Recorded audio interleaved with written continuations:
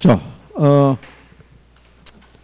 4번 문제 보시면 용도 지역 지구제 하고요. 문제점에 관한 설명으로 틀린 거를 물어봤을 때 예. 거기 보면 이제 4번에요. 토지 개발과 이용이 지나치게 속박되는 지역의 지가를 하락시키고 다른 지역의 지가는 상대적으로 상승시킴으로써 심각한 이제 형평성의 문제를 유발한다라고 얘기를 하죠. 음, 그래서 아, 원래 이 지역 지구제를 시행하는 목적이 목적 중에 하나가 시장에서 발생하는 이제 부의 외부 효과 문제 있죠. 이거를 조정하고 토지 이용에 따른 뭐를 높이기 위해서 예, 효율성을 제고하기 위해서 도로를 하나 사이에 두고 여기는 그린벨트로 지정하고요. 음, 여기는 만약에 택지지구로 이런 식으로 지정을 해버리게 되면은 그러면은 심각한 재산상의 어떤 이제 그 손실과 이익을 보는 사람들의 차이가 있을 수 있, 있을 거 아니에요, 그죠? 예, 그러면 그린벨트 지, 어, 지정된 지역 내에 토지 소유자는 재산상의 피해를 볼 거 아니에요, 그죠? 손실을. 그러면 이 사람들이 이 부분에 대한 형평성 문제를 제기할 수 있죠. 예, 그 문제를 해결하기 위해서 도입할 수 있는 게 뭐예요? 그게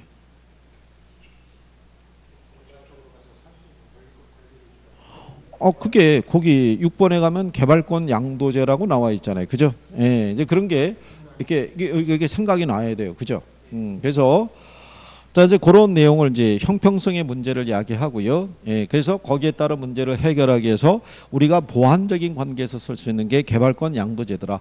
근데 개발권 양도제는 현재 우리나라에서 시행이 안 되고 있다는 거죠. 그러면 개발권 양도제의 가장 큰 취지는 뭐예요? 개발권 양도제의 가장 큰 취지는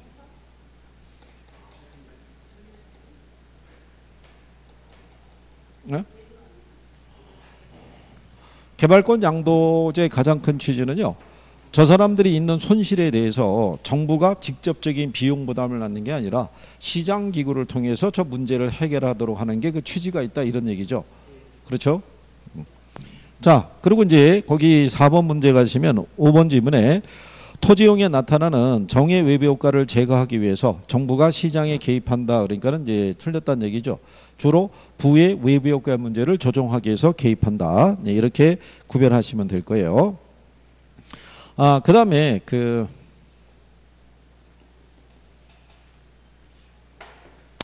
어, 5번 문제 가보시게 되면요. 여기서는 어, 뭐를 정리하시면 되냐면 3번 지문에 가면 그 토지 적성 평가 제도라고 있죠. 예, 걔도 용어상에서 가끔 들어와요. 토지 적성 평가 제도라는 거는 특정한 지역에 있는 일단의 토지에 대해서 개발의 논리와 보존의 논리가 서로 충돌할 수 있어요, 없어요? 있을 거 아니에요? 그걸 합리적으로 조정하기 위한 수단이 바로 뭐다? 그게 토지 적성 평가 제도예요. 음. 그 다음에 5번 지문에 가면 지구 단위 계획이라고 있죠.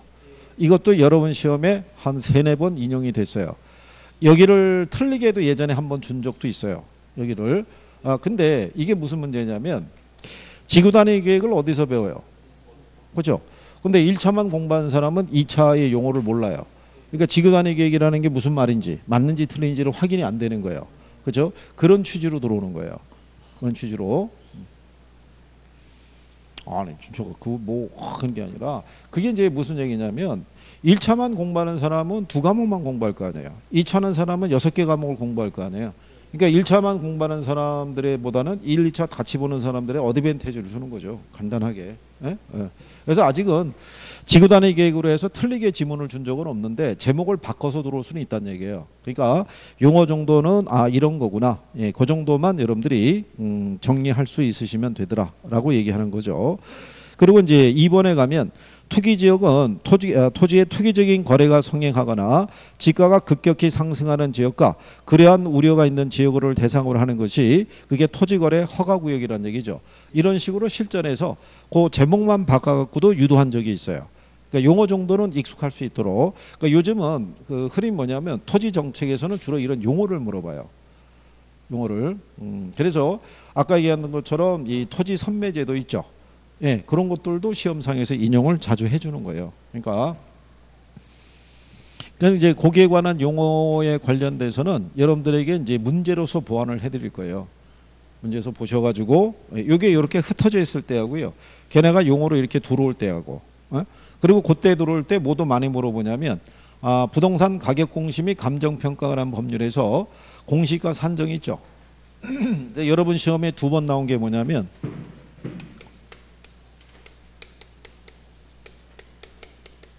공동주택 가격을 결정 공시하는 주체가 누구예요? 이거. 아니. 자 토지 있죠? 토지. 토지 가면 표준지 공시지가 있죠? 그 다음에 개별 공시지가 있죠? 그 다음에 주택 하면은 단독주택이 있죠? 그 다음에 공동주택 있죠 단독주택도 표준주택이 있고 그 다음에 뭐가 있어요 음, 이렇게 돼 있을 때 제가 해드린 게 어떻게 해드렸냐면 이렇게 정리해드렸다고요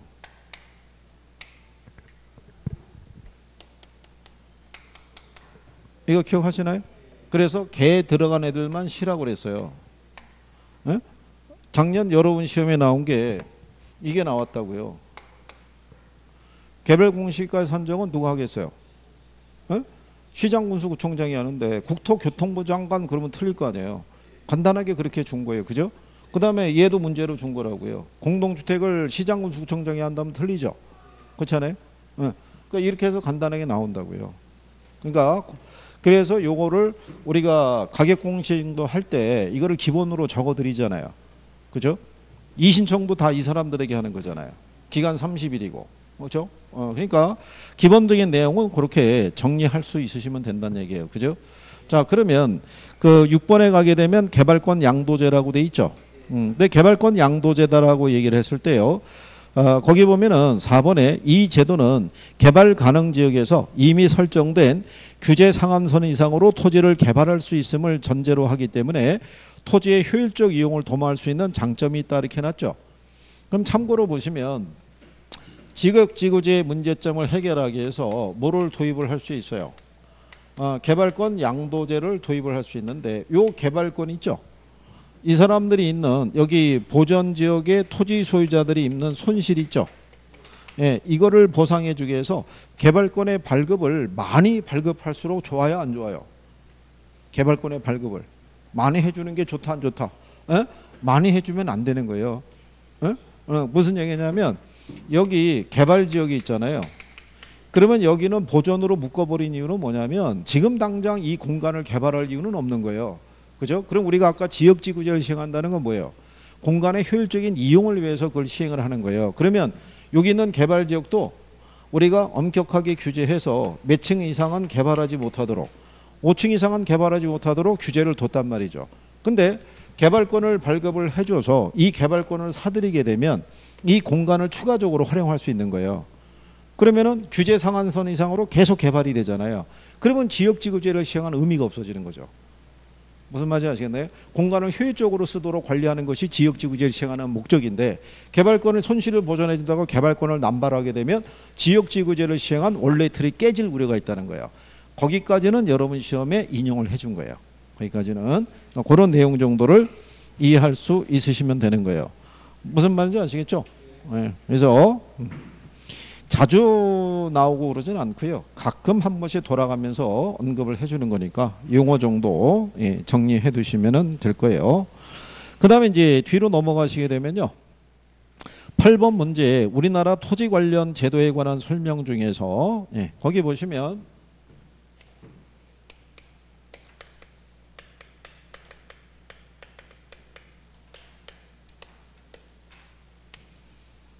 음, 아까 얘기했지만 어쩔 수 없이 우리는 시험이 임박할수록 이 선택과 집중을 잘할 수밖에 없어요. 그죠? 다 저기를 하실 수는 없으니까 중요하다고 말씀드리는 용어들은 예, 꼭좀 숙지할 수 있도록 그죠? 음, 공부를 좀 하시고 예. 뭐 제가 어, 올해 들어서 그 유독 잔소리를 많이 하는 이유가 올해 들어서 유독 공부를 더 안 하시더라고요. 예, 그래서 잔소리가 많아질 수밖에 없고 예. 이게 이제 아마 인강으로 들으시면은 어, 그게 피부에 잘 안 와닿는데 여기서 예, 사람을 대면을 하고 뭐를 물어봤을 때 뭐 이상한 소리 나오거나 그러면은 진짜 그러면서도 요즘 나오는 얘기가 아니 궁금한 걸 물어보셔야지. 왜 안 물어보시냐고 그랬더니 지금 드디어 나오는 소리가 그거예요. 7월인데 아직도 이것도 모른다고 모른가, 모른다고 타박을 받을까봐 못 물어보겠다는 거예요. 혼날까봐. 근데 여러분들은 원래부터 물어봐요? 안 물어봐요? 안 물어봐요. 제일 처음에 나오는 단계가 이거예요. 아니 뭘 알아야 물어볼 거 아니냐. 그러고 초기를 버틴게요. 그 다음에 두 번째는 뭐라고 하냐면 물어볼 게 너무 많아서 못 물어보겠대요. 공부해 보니까.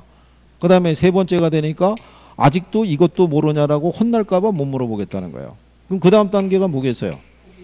아니죠. 선생도 인간인데 쉬어야 될 거 아니냐. 쉬는 시간을 뺏을 수 있겠느냐. 뭐 이렇게 버팅기는 거예요. 그 결론은 안 물어보겠다는 거예요. 그죠?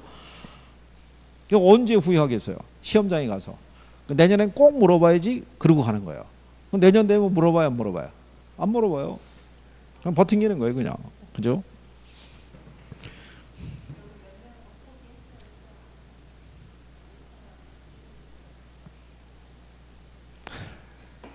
일차만 해도 해보겠다고.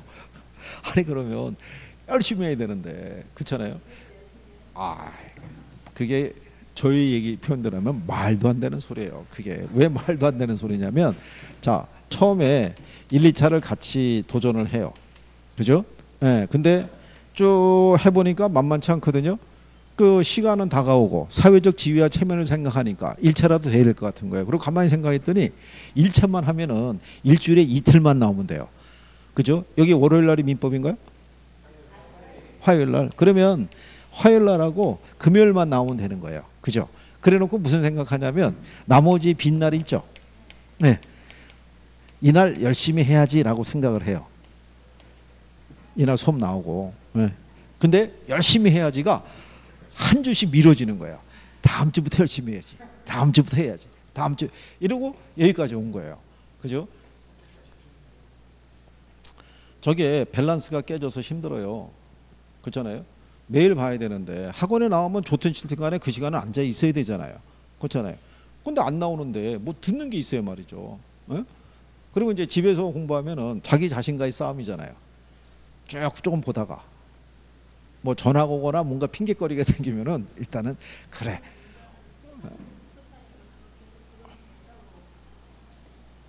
어, 그게 인강의 특징이 뭐냐면 이거예요. 내가 원하는 시간에 내가 원하는 내용을 내가 선택을 해서 계속 볼 수 있다라는 그게 있는 거예요. 그죠?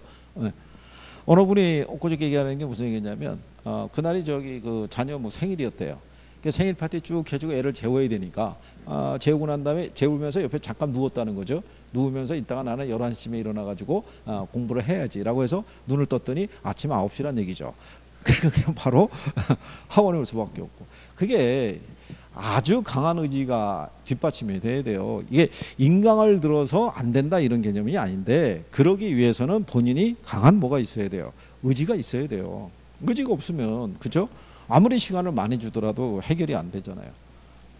그러니까 혹시 그 집에서 공부하고 있겠다, 뭐 동영상으로 보겠다, 뭐 이렇게 하게 되면 중간에 그래도 안 되면 한 번쯤은 나와서 점검도 해야 되고 모의고사도 봐야 되고 모의고사를 보면서 연습을 하셔야 돼요. 연습을. 1차는 무조건 시간 싸움이에요. 여러분들이 나중에 공부하시는 분들 얘기 들어보면 2차를 봐서 시간이 부족해서 문제를 못 풀었다 이런 사람은 없어요.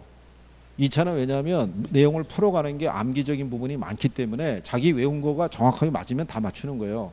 아니면 떨어지는 거지만. 근데 1차는 그게 아니라 민법하고 학계로는 이해가 필요하다고요. 그렇기 때문에 제한된 시간 안에 문제를 풀어야 되는 그 시간의 압박이 대단히 큰 거예요. 시간을 어떻게 잘 활용하느냐가 이게 당락을 좌우해요. 그것도 난이도라니까요. 그렇죠? 제가 오죽하면은 이론을 먼저 풀고 계산 마지막에 풀라는 이유가 뭐겠어요? 시간 배정 때문에 그런 거예요. 시간 배정 때문에. 그래서 여러분들은 어 80번까지는 가야 돼요. 그래서 나중에 시험 끝나고 난 다음에 아 민법이 시간이 없어서 몇 개를 찍었네. 개론이 나중에 풀었는데 시간이 없어서 몇 개를 찍었네 그러면은 어그 데미지가 크다고요. 여러분들이 정상적으로 문제를 풀어서 답을 맞출 수 있는 확률이 60% 수준밖에 안 되는 거예요. 근데 문제를 안 풀고 찍으면 확률이 더 떨어지잖아요. 그렇잖아요. 그거를 언제 연습해야 돼요? 모의고사 보면서 모의고사 보면서 연습을 해야 되는데 모의고사가 또 주말에 보잖아요. 토요일 날. 그죠? 그럼 일주일 내내 나를 고생을 시켰는데 하루는 쉬어야 될 거 아니에요. 그게 또 토요일 날 안 나오는 거예요. 그러면 학원에 데이터가 없잖아요. 이 양반이 얼마나 공부를 하고 있는지를 확인할 길이 없다고요. 그렇잖아요. 그리고 선생님이 이 얘기 할 때는 그래 해봐야지 이러고 난 다음에 끝나고 집에 귀가하시면은 또 일상으로 돌아가는 거죠. 그러면 이제 참 그렇다는 얘기죠. 아 열심히 해주셔야 돼요 이거는. 자 거기 여러분들이 보시면 8번에 1번에 가면은 뭐가 있어요? 토지 공개념이라고 있죠. 토지 공개념은요. 이 토지 구교, 아, 국유화하고는 성격이 다른 거라고 말씀을 드린 거예요. 그죠? 음. 이거는 공산주의 국가에서 시행하는 거고 자본주의 국가에서 도입하는 토지 공개념은 뭐냐면요. 자, 토지에 대한 소유권을 인정을 해줘요. 근데 토지라는 자원 자체가 이게 자연에서 주어진 거란 말이에요. 그렇기 때문에 토지에 관한 권리를 절대적 권리로 보지 않고 무슨 권리로 보겠다는 거예요. 상대적 권리로 보겠다는 거예요. 그래서 그 소유권 행사나 이용을 할 때 뭐를 가할 수 있다는 거예요. 제한을 가할 수 있다는 거예요. 그래서 우리나라에서도 토지 공개념에 관한 3대 법안이 있어가지고 음, 택지 소유 상한에 관한 법률이 있었고요. 그 다음에 토지 초과 이득 세제 있죠. 예, 그 다음에 개발 부담금 제도 있죠. 이렇게 해서 이게 3대 법안이었는데 아, 이게 예전에 IMF가 터진, 터진 직후에 얘네들은 우연 또는 헌법 불합치 뭐 이 판정 받아 갖고 지금 없어졌어요. 근데 작년 여러분 시험에 얘가 두 번 나온 거예요. 한 번 나와서 현행 우리 현재 우리나라에서 시행되고 있는 제도가 아닌 게 뭐냐 그래서 얘가 한 번 답이었고요. 작년 문제에서는 얘네 둘을 주고요. 그 다음에 기억을 뭐를 줬냐면 아, 실거래가 신고제 있죠. 그 다음에 디귿을 뭐를 줬냐면은 분양가 상한제 있죠. 그리고 얘를 니은하고 리을로 줬어요. 다음 중에 현재 우리나라에서 시행되고 있는 제도를 고르시오 이렇게 출제한 거예요. 그러면 답이 당연히 뭐겠어요? 얘네 둘이죠. 얘는 없어졌으니까. 무슨 말인지 하시겠나요? 음. 근데 이거를 작년에도 강의할 때 설명해 드린 이유가 뭐냐면 얘가 그 이전에 출제를 했다고요. 출제를 했으니까 선생은 토지 공개념을 얘기하면서 이 부분을 얘기해 줄 수밖에 없다고요. 그렇잖아요. 그러니까 간단하게 답을 맞출 수 있는 거를 줘요 안 줘요? 줄 수밖에 없어요. 왜? 시간 배정을 해야 되니까. 그렇잖아요. 그래서 1분 안에 풀 수 있는 애들이 있죠. 읽으면 답이 탁 나올 수 있는 거. 예, 그런 애들도 한 대여섯 개씩 들어와요. 전체적인 밸런스가 맞아야 되니까. 그러니까 그런 거는 놓치시면 안 되는 거예요. 작년에 여러분들이 문제 보면 맞출 수 있는 게 저런 뭐 개별 공시가 이런 거 있죠. 표준지 공시가 산정을 국, 아, 시장 군수 구청장이 다면 틀릴 거 아니에요. 집, 토지의 집약적 이용하는 건 누가 하는 거겠어요? 부증성. 그런 것들을 단답형으로 줘요 안 줘요? 어, 다 주는 거예요. 답 맞출 수 있게끔. 그러니까 그런 거를 틀리시면 곤란한 거예요. 그죠? 자, 그래서 이 토지 공개념에 관한 예, 그런 내용 정도 알아두시면 되겠고요. 음. 그 다음에 이제 거기 4번에 가면 부동산 거래 신고제도 있죠. 우리가 실거래 가격으로 신고해야 되죠. 예. 그게 그게 언제 신고해야 돼요? 언제부터? 기준이 언제예요? 잔금 지급이래요? 아니면은 계약 체결일부터 계약 체결일부터 60일 이내 신고하도록 되어 있어요. 여러분 시험에는 잔금 지급일로부터 60일 그래서 틀리게 한번 출제한 적이 있어요. 그래서 그런 내용.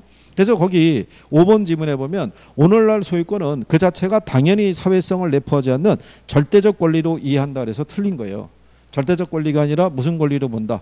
상대적 권리로 인정이 되더라 이런 얘기예요. 음, 그래서 그런 내용 정도 정리하시면 되겠고요. 음. 자, 그다음에 이제 뒤로 넘어가시게 되면 음, 자 거기 11번 문제 가시면 토지 정책에 관한 예, 기출 문제 보면 나와 있죠.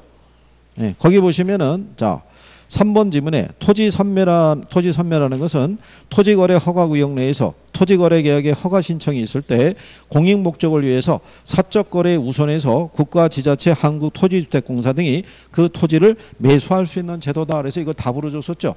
예. 근데 또 한 번은 얘를 강제로 수용한다고 그래가지고 예, 그래서 또 틀리게 한 번 또 출제를 한 거예요. 그러니까 맞는 지문으로 나오기도 하고 틀린 지문으로 나오기도 한 거예요.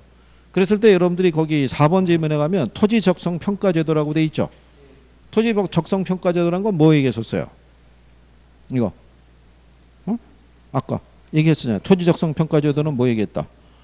토지에 대한 개발과 보존이 경합이 발생했을 때 그걸 합리적으로 조정해 주는 게 토지 적성 평가 제도라고 그랬잖아요. 그러니까 이렇게 틀린 지문으로 나오기도 하고 맞는 지문으로 나오기도 한다고요. 그러니까 거기 5번 지문에 가면 나와 있잖아요. 토지에 대한 개발과 보존에 대한 문제가 발생했을 때 이를 합리적으로 조정하는 제도가 뭐다? 그게 토지 적성 평가 제도라는 거예요. 그러니까 용어에 대한 것이 자꾸 익숙해지면 되는 거예요.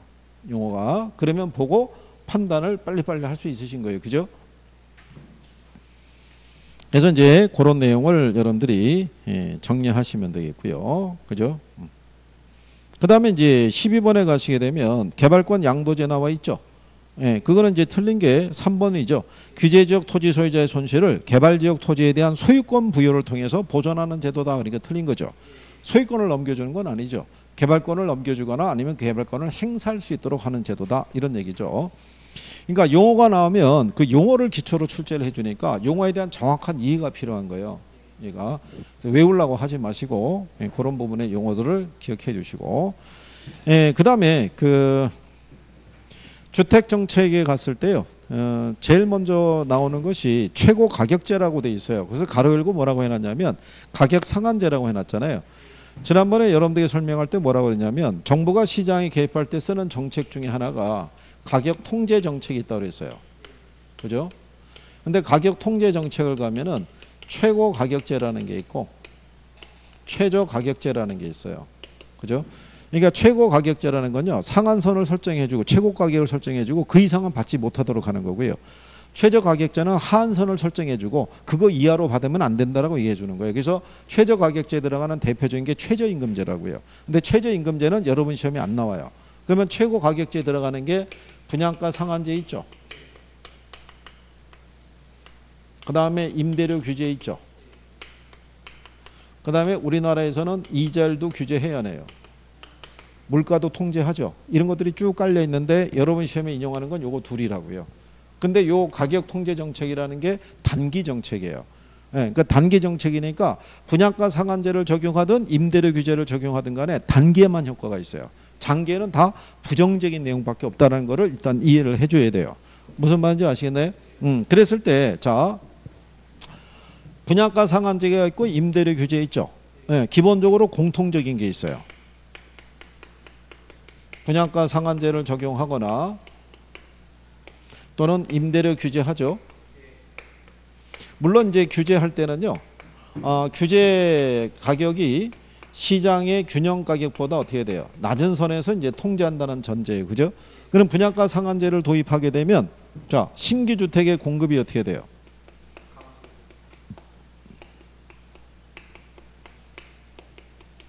감소하는 거예요. 그러면 임대료 규제하죠. 예. 네, 그러면 이 임대 주택에 대한 공급이 어떻게 돼요? 감소해요. 그죠? 예. 네. 그 다음에 분양가 상한제를 적용하게 되면요. 이 주택에 대한 질이 있죠. 질이 어떻게 돼요? 질이 떨어지죠. 네. 얘도 질이 어떻게 돼요? 음, 이건 공통적인 거예요. 기본적으로. 그러니까 근데 이제 여기서의 변화가 나올 때 얘가 신규 주택의 공급이 줄죠. 그러면 기존 재거 주택의 거래는 어떻게 되겠어요? 에? 줄어드는 거예요. 새롭게 공급되는 주택이 없으니까 기존에 집 갖고 있던 사람들이 집을 매물로 안 내놓는다고요. 무슨 말인지 아시겠어요? 그래서 기존 주택 가격이 올라가는 문제가 발생한다고요. 이게 음. 그렇게 되면 무슨 문제가 또 발생하게 되냐면 이게 분양가 규제를 갖다가 싸게 했기 때문에 그렇죠? 분양권 전매 등의 문제가 나타날 수 있어요, 없어요? 거기에 따른 이제 투기적인 거래가 나오는 거예요. 그래서 이번에 아, 정부에서 아, 민간 택지에도 분양가 상한제를 도입하고자 했었을 때 그러면 당연히 분양권 전매 등에 대한 투기적인 거래 이런 문제가 나올 텐데 그거는 어떻게 해소할 것이냐 물어봤더니 국토교통부 장관이 분양권 전매 제한 기간을 늘리겠다 뭐 이런 식으로 얘기를 한 거예요. 근데 그것만 갖고 근본적인 처방이 되겠느냐 뭐 이렇게 또 얘기하는 거죠. 예, 그러니까 그러니까 그거는 일단은 시장에다가 시그널 한번 보내는 거죠. 가격이 만약에 여기서 또 이상한 조짐을 보이면 도입하겠다 뭐 이런 얘기예요. 그러니까 그거를 어떻게 대처할 것이냐. 그러면 얘네가 나오면 여기에 관련되는 애들이 어떻게 돼요? 쭉 나와줘야 돼요. 그렇죠? 네, 그래서 기본적인 내용은 정리가 되어 있어야 돼요. 근데 임대료 규제나 얘네들에 대한 이런 기본적인 내용을 이제 정리하고 그 다음에 이제 예, 나머지 내용으로 이렇게 해보게 되면요. 그러니까 먼저 최고 가격제가 보게 되면요. 일단은 균형 가격보다 낮은 수준에서 통제해야 되죠. 높은 수준에서 통제하면은 시장에서는 변화가 있어요, 없어요? 아무런 변화가 안 나타나는 거예요. 예, 그것도 시험에서 인용하니까 기억을 해줘야 돼요. 그죠? 음. 그래서 5번 질문에 가면 분양가 규제는 전매 차익이 발생해서 투기적인 수요가 불러일으킨다라고 해놨죠. 그리고 4번에 가면은 분양가 규제는 민간 아, 주택 공급을 위축시킴으로써 중고주택의 가격을 상승시킨다 이렇게 해놨잖아요. 그 다음에 3번에 갔더니 최고 가격제가 효과적으로 시행될 때 시장에서 초과 공급 현상이 발생한다는 게 틀린 거죠. 공급이 줄어드니까 공급 부족 현상이 나타나겠죠. 자 그러면 2번 문제 가면은 임대료 규제가 있죠. 임대료 규제. 그러면 얘는 규제 임대료가 무슨 임대료보다 시장 임대료보다 낮은 선에서 통제를 해야지 효과가 발생하는데 얘가 단기적으로는 무슨 효과가 나타날 수 있어요? 소득 재분배 효과가 나타날 수 있는데 요 소득 재분배 효과는요. 아, 공급이 탄력적 비탄력적 어느 때 어느 때 효과가 나타나는 거예요. 소득 재분배 효과는 에?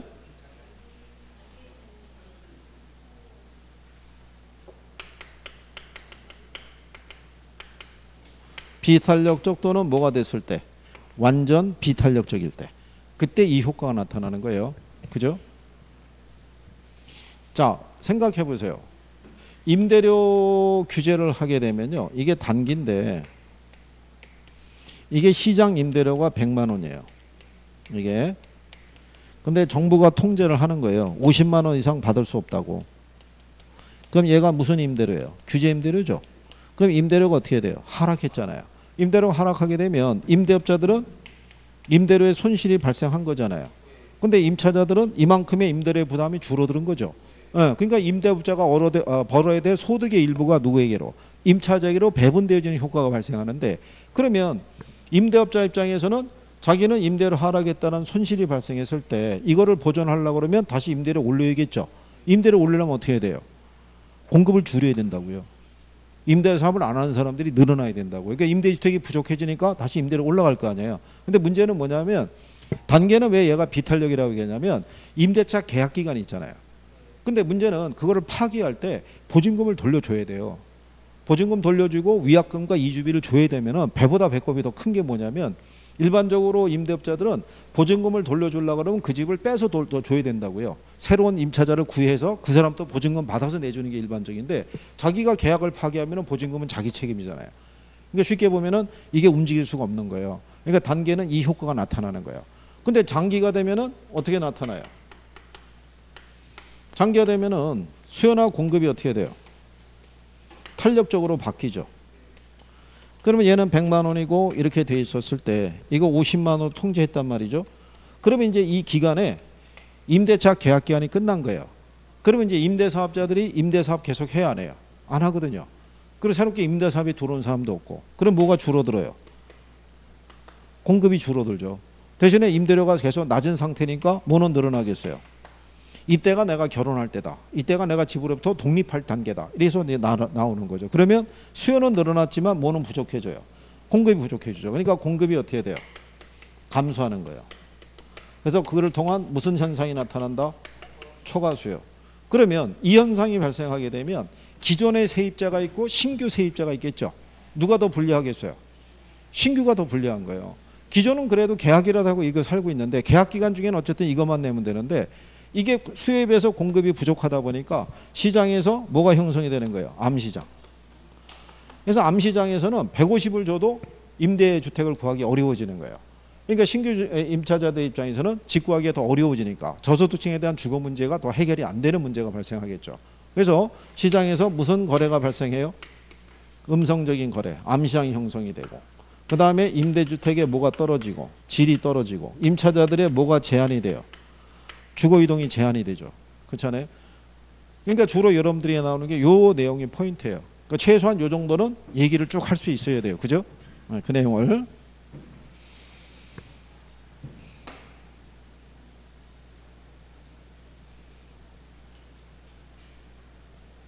자, 그래서 이제 그 내용을 정리하시면 되겠고요. 그래서 2번 문제 가시면 임대료 규제에 관한 설명으로 틀린 거 물어봤죠. 예, 거기 보시면 1번에 질적인 저하를 가져오고요.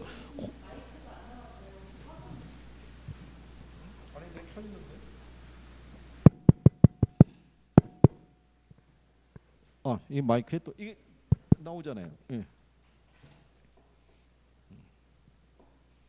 그래요. 이게 또 촬영을 하다 보면 기계상에 문제가 있을 때 그죠 어쩔 수가 없죠. 뭐 의사소통을 할 수가 없으니까. 음.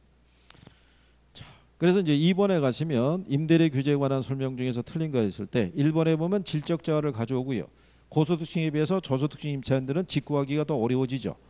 예, 그다음에 이제 거기 보면은 3번에 초과 수요를 발생해서 임대 부동산의 부족 현상을 초래하게 될 거고요. 5번에 가면 암시장이 형성이 되면서 이중 가격이 문제가 되죠. 근데 2번에 가면 임대료 규제는 기존 임차인들의 이동을 저하시킨다라고 이렇게 표현을 해요.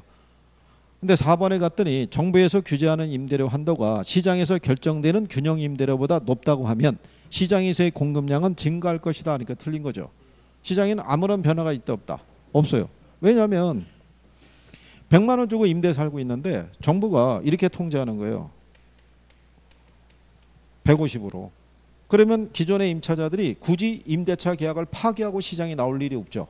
나오면은 비싼 임대료 줘야 되는데 그러면 수요가 변화가 없잖아요. 그 임대료도 변화가 없어요. 그럼 공급도 변화가 없는 거예요. 그러니까 시장에는 아무런 변화가 발생한다 안 한다 안 한다는 것까지 예, 그렇게 정리를 해두시면 되죠. 예. 자, 그래서 이제 그런 내용이니까요. 그래서 이게 포인트가 이 정도예요. 이 안에서 돌아가는 거예요. 어, 그걸 이제 기본적으로 기억을 좀 해두시면 되겠고. 그 다음에 이제 뒤로 넘어가셔가지고요. 어, 4번하고 5번에 대한 거는 이거 뭐 물어보는 거예요? 계산 문제. 6번까지 계산 문제 물어보는 거죠. 네. 이게 아, 오래전에 시험에 계산 문제로 두 번 나왔던 적이 있어요. 이게 18회 19회인가 뭐 그 정도 나왔고 안 나온 지는 한 10여 년 됐어요. 이게 에, 거기 보시면 4번에 어떤 부동산의 수요 함수가요. 1100 마이너스 2P예요. 그죠? 아, 그리고 이제 공급 함수가 200 플러스 4P죠. 자, 요렇게 우리가 이제 예, 구성이 돼 있었을 때 음, 그러면 요거 계산하려고 그러면요. 어떻게 하면 돼요? 더하기 빼기만 하면 되잖아요. 그러면 식을 정리하면 어떻게 돼요? 마이너스 2p는 넘어가면은 플러스로 바뀌죠. 그럼 6p가 얼마라는 거예요? 6p가 900이라는 얘기죠. 양쪽을 6으로 나누면 p는 얼마? 어, 150 나오겠죠. 그죠? 그러면 균형 거리량은 어떻게 돼요? 여기다가 150 대입하면 되죠. 2 곱하기 150 하면 300이잖아요. 1100에서 300 빼면 800 나올 거 아니에요. 800. 4 곱하기 150 하면은 600이죠. 600에다 200 더하면 800이니까. 그러면 얘가 이렇단 얘기잖아요. 규제 전에 균형 가격은 얼마? 150. 그 다음에 얘는 800. 근데 정부가 얼마에 통제한다는 거예요? 100만으로 통제한다는 얘기잖아요. 시장 가격보다 낮은 선에서 통제하지만 효과가 발생할 거 아니에요. 그러면 여기에다가 얼마 대입하면 돼요. 여기다가 100을 대입하면 되죠. 그럼 1100에서 200 빼면 얼마겠어요? 그럼 얘는 900으로 늘어나는 거죠. 그러면 얘가 100이면은 4 곱하기 100이면 400이죠. 400에다 200 더하면 600이죠. 그럼 얘는 600. 그러면 초과 수요가 300 이렇게 나오겠죠. 수요는 900, 공급은 얼마? 어, 600이니까. 무슨 말인지 아시겠나요? 그래서 답이 어, 1번 이런 얘기죠. 그래서 그렇게 정리하시면 되겠죠. 그죠? 음, 그 다음에 이제 그 5번 문제에서 나, 오는 거는요. 어, 내용이 뭐냐면 150에서 규제를 했다고 돼 있잖아요. 같은 조건이잖아요. 1100 마이너스 2P고 그 다음에 얘는 300 플러스 4P니까 거기만 약간 틀리게 해준 거죠. 1100 마이너스 얼마? 2P 300 플러스 얼마요? 4P 그렇죠? 네. 그러면 균형 가격이 어떻게 돼요? 6P가 1100에서 300 빼면 얼마예요? 800이겠죠? 그러면 우리가 어, 800을 6으로 나누면 가격 얼마 나오겠어요? 이거 133만 원인가 이렇게 떨어질 거라고요. 근데 시장 가격을 150으로 통제했잖아요. 그러면 시장의 균형 임대료보다 높은 선에서 통제했으니까 시장에는 변화가 있다 없다. 변화가 없다 이제 이런 얘기죠. 네. 근데 이게 다른 곳에서 이제 유관 시험을 할 때는요. 어떻게도 해 주냐면은 아, 만약에 얘가 지금 150이잖아요. 그럼 200에서 통제했잖아요. 그러면 그냥 아무런 변화가 없다고 쓰지 않고 이걸 써버린다고요. 800이라고. 무슨 말인지 아시겠나요? 음, 그냥 그렇게 해서 아무런 변화가 없다고 쓰면 너무 티가 나잖아요. 티가 나니까 그러면 이 균형 상태에서 변화가 없을 거 아니에요. 그럼 그냥 요게 답으로 유도할 수도 있는 거예요. 그냥 그러면 사람들은 그 생각을 못 하고 또 찾으려고 그럴 거 아니에요. 그럼 오히려 또 거꾸로 유인 지문으로 아무런 변화가 없다라고 또 이렇게 쓰면은 너무 티가 나니까. 예, 그래서 다른데 유관 시험에서 한번 나왔던 선례가 있어요. 그래서 예, 그래서 이제 그런 내용이고요. 아, 6번 문제도 다른 데서 인용을 한번 했던 거예요. 어, 근데 이거 표현만 조금 달리했다라고 보시면 되겠죠. 균형 가격과 균형 거래량이 얼마냐 이렇게 물어봤을 때요. 음. 근데 이거는 균형 가격을 계산을 한과 동시에 아무런 변화가 없다는 걸 알 수가 있죠. 예, 왜냐하면 만 마이너스 10P죠. 2000 플러스 10P잖아요. 그럼 어떻게 되겠어요? 8000이 20P란 얘기잖아요. 그럼 P는 얼마겠어요? 400이죠. 근데 가격을 500으로 통제했으니까는 시장 균형 가격보다 높은 선에서 통제한 거잖아요. 그러니까 이제 아,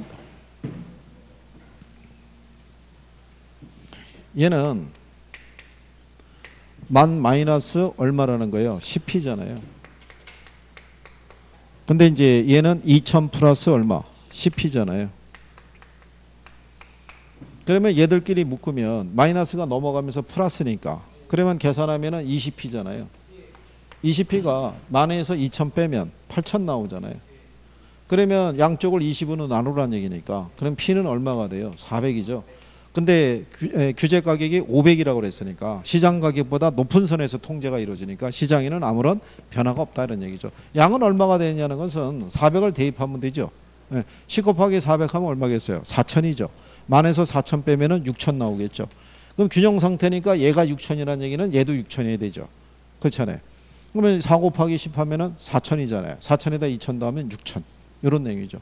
네, 그래서 이렇게만 나오면 뭐 얼마나 좋겠어요. 그죠? 네.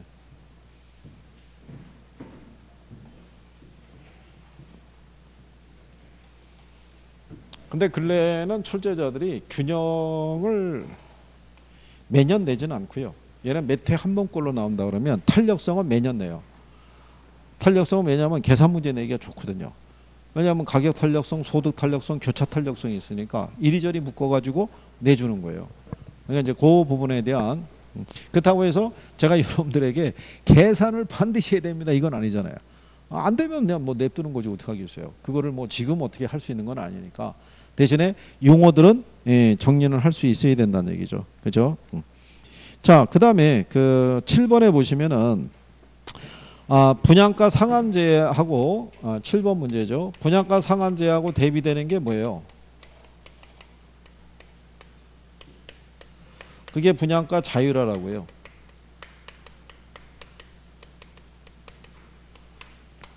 그러면 분양가를 자율화시키면요. 여기서 발생하는 문제가 어느 정도는 해소가 되죠.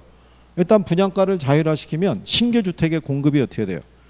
늘어나죠. 왜? 가격 비싸게 받을 수 있으니까. 그럼 품질도 어떻게 돼요? 좋아지죠. 분양가 많이 비싸게 받으려고 그러면 품질을 개선을 시켜야 되니까. 그러니까 분양권 그러니까 전매 차익 같은 것도 기대하기가 어렵다는 얘기죠. 그렇지 않겠어요? 그러니까 그런 것들이 해소가 되는 게 아, 분양가 자율화에서 나타나는 현상인데 문제는 분양가를 자율화시키면 필요 이상으로 분양가를 너무 높게 책정할 수도 있어요, 없어요? 있죠. 그리고 이제 건설업체 입장에서는 분양가를 높게 책정하기 위해서는 소형 주택보다는 중대형 위주로 공급하는 경향이 크다는 얘기죠. 그래서 저소득층에 대한 주거 환경이 개선되기가 조금 어려운 문제도 있다 이런 얘기죠. 음. 그래서 어, 거기 7번에 보면은 분양가격 통제가 주택시장에 미치는 영향이라고 보기 어려운 것을 물어봤어요. 그래서 1번에 보면 주택의 품질이 향상되기 어렵게 하더라. 그 다음에 분양가격과 실거래가격의 차이 있죠. 예, 이것 때문에 가수요가 유발이 돼서 결국 주택 가격이 상승하게 되고요. 분양가 규제는 주택 소비자의 과소비를 유발한다고 그랬죠. 기억하시죠? 이게 그 분양가 통제했을 때요. 원래 시장에 평당 분양가가 얼마냐면요. 만약에 천만 원이라고 가정하자고요. 그래서 원래 30평형 분양받을 때 3억 정도가 필요했는데 정부가 이게 저소득층의 입장에서 너무 부담스럽다고 보고 분양가를 500으로 통제한 거죠. 그러면 30평형 분양받으면 1억 5천이면 되거든요. 그러면 사람들이 1억 5천을 가지고 30평을 분양받는 게 아니라 여기 있는 3억을 가지고 40평, 50평을 분양 시장 들어가는 거예요. 그래서 주택에 대한 뭐가 유화가 되는 거예요? 과소비가. 예, 그게 유도가 되는 거예요. 그러니까 우리나라 사람들은 큰 거 넓은 거 좋아해요. 그렇잖아요. 그러니까 유럽 애들은 경차 이런 거 소형차 이런 거 선호하는데 우리나라 사람들은 뭐가 인식이 돼 있냐면 아이들 사이에서도 왜 너 몇 평 살아 왜 이게 기준이잖아요. 그러니까 차도 얼마나 좋은 걸 타고 다니냐가 그 사람을 일단 일차적으로 판단하는 잣대로 보는 거죠. 그래서 한때 유행했던 게 전세 살더라도 차는 좋은 거 몰고 다니는 게 유행이었잖아요. 근데 요즘은 어, 또 소비가 많이 줄었대요. 예, 차를 사기가 그러니까 뭐 한 30대 이런 직장인들이 있는 사람들이 차를 전세 살더라도 차는 좋은 거 몰고 다니는데 요즘은 또 그렇지를 못한 모양이에요. 그러니까 그만큼 뭐가 좀 안 좋다는 거예요. 경기가 좀안 좋다 이런 얘기죠. 그래서 그러니까 이제 뭐 어떻게 하겠어요. 자, 근데 이제 거기 보시면 4번에 분양가 상한제는 효율성 측면에서는 바람직하다고 볼 수 있으나 형평성 측면에서는 소득과 재산 분배 구조를 왜곡시키는 결과를 가져올 수 있다 했으니까 표현이 바뀐 거겠죠. 분양가 상한제를 적용하게 되면은 형평성 측면에서는 좀 바람직하다고 할 수가 있죠. 근데 효율성인 정의 측면에서는 소득과 재산 분배 구조를 왜곡시키는 결과를 초래할 수도 있다 없다. 그럴 수도 있다는 얘기죠. 그러니까 건설업체 입장에서 보면 수익성이 악화되잖아요. 그렇죠?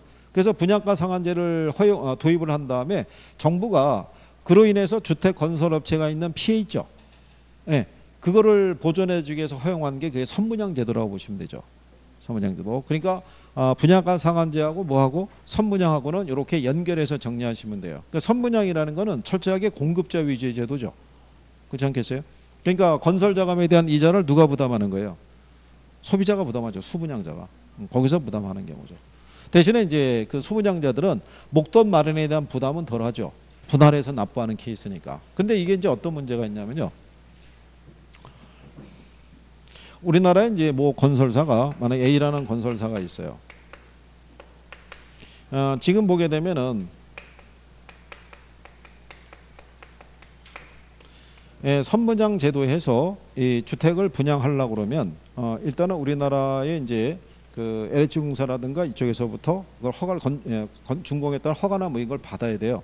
근데 그거를 받으려고 그러면 얘네가 만약에 선분양하기 위해서는 뭐를 책정을 해야 돼요. 예, 분양가를 책정해야 되는데 이 분양가가 너무 높게 책정해서 들어오게 되면 어, 얘네가 이거를 허용을 안 해줘요. 허용을 안 해준다고 뭐냐면 우리나라 주택 공급에 관한 규칙에 의하면은 20호 이상의 주택을 건설하려고 그러면 주택도시보증공사로부터 분양 보증을 받아야 돼요. 분양 보증을 받지 않으면 건설할 수가 없다고요. 그죠? 음, 그러니까 얘네가 처음에 분양가를 신청한 게 한 3천 원, 300만 원 뭐 이렇게 신청을 했는데 주변보다 좀 비쌌던 모양이에요. 그러니까 이게 안 된 거예요. 안 돼 가지고 얘네가 뭐로 돌아갔냐면 이걸로 돌아간 거예요. 후분양으로. 후분양으로 돌아가면은 완성된 주택을 갖고 판매하는 거니까 그 주택 분양 보증을 받을 필요가 없거든요. 그러면 한 3분의 2 이상 정도 건축이 되면 후분양을 할 수 있어요. 그래서 얘네가 가격을 이렇게 책정을 한 거예요. 근데 문제가 30평형이라고 그러면 평당 3,300이면 총액이 얼마 넘어가겠어요? 9억이 넘어가요. 9억이 넘어가면 대출이 안 돼요. 예, 그런 문제가 또 있는 거예요. 그러니까 후분양 제도를 도입하려고 그러면 정부가 제도적으로 뭐를 지원해 줘야 돼요. 자금 지원이 이루어져야 돼요. 그러니까 그래서 뭐 프레이터 파이낸싱이 됐던 아니면은 뭐 보금자리론을 확대해서 뭐 제공을 해주든지 간에 그게 지원이 있어야 돼요. 그렇지 않으면은 어려워지는 거예요. 그러니까 그게 그 맥락이 있다는 얘기죠. 그러니까 이제 선분양과 뭐가 있을 때 후분양이 있으니까 그러니까 후분양 제도가 수요자 위주의 제도이기 때문에 상대적으로 수요자에게는 유리한 제도예요. 근데 후분양 제도를 정부가 이 도입을 하려고 그러면 정부가 금융에 대한 제도를 개편해 가지고 자금의 지원이 원활하게 이루어질 수 있도록 해 줘야 돼요. 그게 아니면 힘들어요. 그죠? 네, 그러니까 음, 그런 관계를 이제 정리할 수 있으시면 될 거예요. 그죠? 그 다음에 이제 뒤로 넘어가셔서 이 8번에 보시면 분양 가격을 시장 가격 이하로 규제하는 분양가 상한제에 대한 설명 중에서 틀린 걸 물어봤을 때요. 요게 기출에서 한번 인용을 했는데요. 기출에서는 답을 3번으로 유도한 건데 자 여기는 이제 5번을 이제 우리가 답으로 유도한 거죠. 음, 그래서 1번 지문에 보면 뭐라고 했냐면요. 수요의 가격 탄력성이 비탄력적일수록 초과 수요량이 더 작아진다라고 해놨죠. 예, 그러면 맞는 표현이죠. 공급의 가격 탄력성이 비탄력적일수록 초과 수요량이 어떻게 돼요? 더 작아지고요. 얘네가 탄력적일수록 초과 수요량이 더 커진다는 얘기죠. 그럼 만약에 이렇게 얘기하는 거죠. 정부가 이 분양가 상한제를 도입한 거예요. 자, 1번 지문이 수요가 탄력적일수록 초과 수요량이 더 커지고요. 2번 지문이 공급이 탄력적일수록 초과 수요량이 더 커지는 거죠.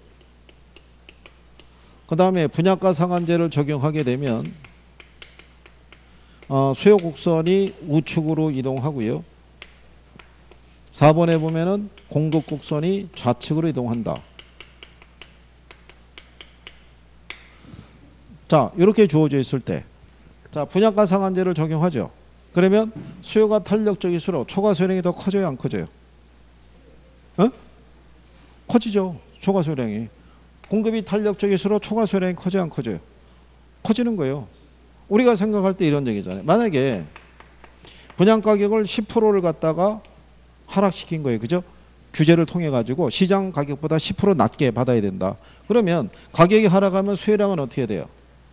늘어날 때 얘가 5%만 늘었어요. 그죠? 근데 가격이 하락하면 공급량은 어떻게 돼요? 줄어들겠죠. 근데 얘가 5%가 줄어들었어요. 그죠? 근데 만약에 얘네가 탄력적이면 어떻게 되겠어요? 얘는 15%가 늘어날 거고 얘는 15%가 줄어들 거 아니에요. 그러니까 초과 수요량이 어떻게 돼요? 더 커진다고요. 그죠? 수요 증가 공급의 감소가 더 커지니까 네, 그런 내용이란 말이에요. 그러면 자 분양가 상한제를 적용하면 수요 곡선이 우측으로 이동해야 해요. 네?